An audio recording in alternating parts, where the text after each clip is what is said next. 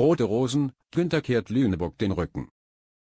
Sollten Fans der Roten Rosen bald um einen ihrer Favoriten trauern?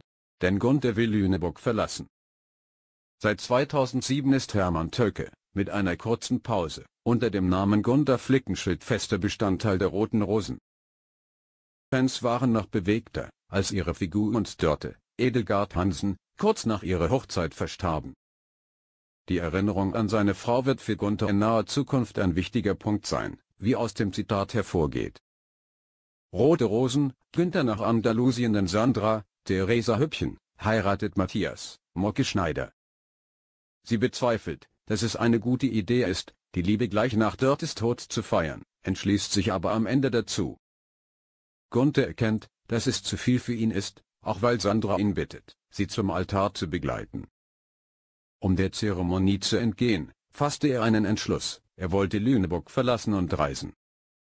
Aber es stellt sich die Frage, wohin sollen wir gehen? Sandra ermutigt ihn bei seinen Reiseplänen, besonders wenn er einen Abschluss wie diesen finden kann. Er hat immer noch tolle Ideen, wie er seine geplanten Flitterwochen in Andalusien verbringen könnte. Wie lange Gunther aus Lüneburg verschwinden wird, ist noch nicht bekannt aber das schien genau der richtige Weg zu sein, mit ihrer Trauer umzugehen.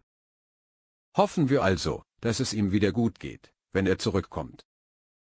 Rote Rosen läuft weiterhin montags bis freitags um 14.10 Uhr in der ARD.